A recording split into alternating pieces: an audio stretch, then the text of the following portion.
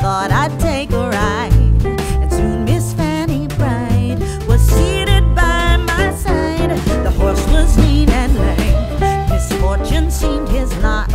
He got into a drift.